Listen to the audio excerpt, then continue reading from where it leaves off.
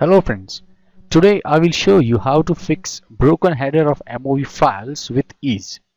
Before starting with MOV file repair process, let me tell you why your MOV file header gets damaged.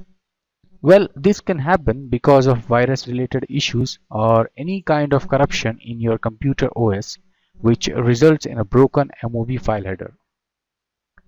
To play your damaged MOV files again, you need to repair them first. To begin with the repairing process, you must have QuickTime MOV file repairing tool. To get such software, go to the web page shown here.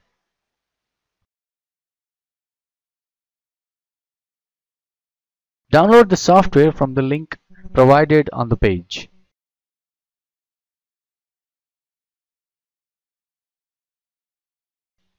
When you install the software on your computer, it looks like this. Here you need to provide any healthy MOV file as per reference. And now it's time to browse the corrupted MOV file. Once you are done with it, click on repair button. You can see the software has started repairing corrupted MOV file header.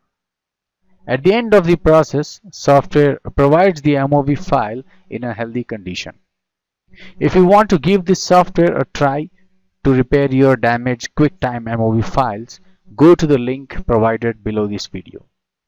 Thanks for watching the video. Enjoy playing your MOV files.